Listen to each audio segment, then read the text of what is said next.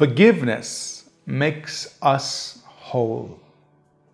John chapter 8, verses 10 to 11.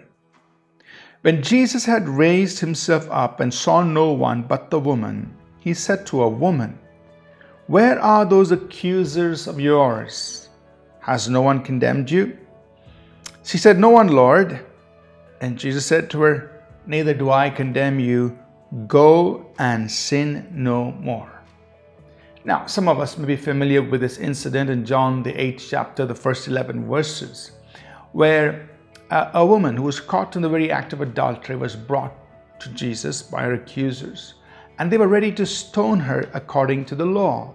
They were ready to carry out what the law uh, said must be done to somebody committing adultery. They were ready to stone her, but they brought this woman to Jesus and said, You know, what should we do?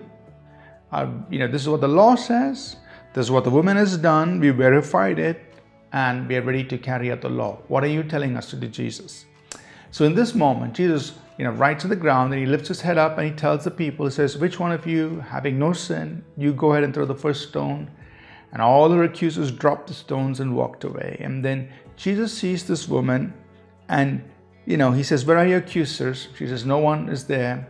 Jesus tells her, neither do I condemn you Go and sin no more.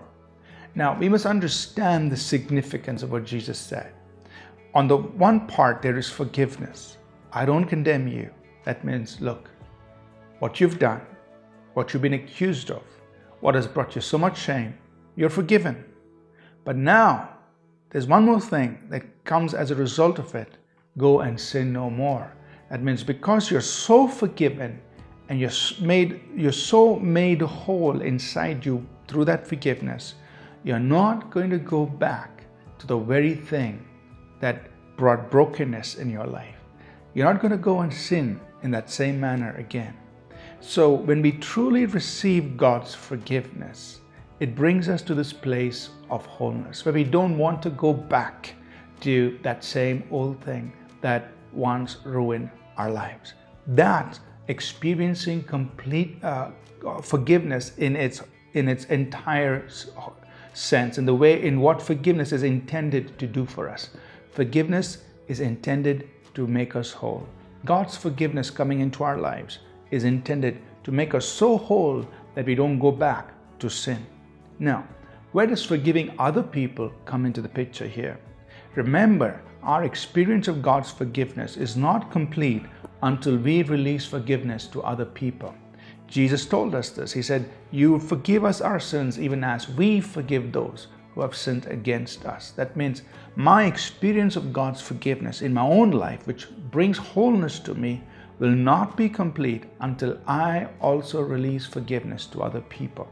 So you see the inter- interplay there, the interaction there. That my experience of God's forgiveness, which makes me whole, is connected to my releasing forgiveness to other people. Forgiveness is intended to make us whole so we don't go back to the sins that once affected our lives. But that wholeness, the experience of that wholeness comes as we release forgiveness to other people. So let's do it quickly. Let's forgive those who offended us so that we can be made whole. Let's pray. Father, we ask you then you will empower us to forgive others so that your forgiveness in our lives can have its complete, full effect, making us whole. In Jesus' name, amen. Thank you for tuning in to Living Supernaturally. For more resources to strengthen your spiritual walk, please visit apcwo.org.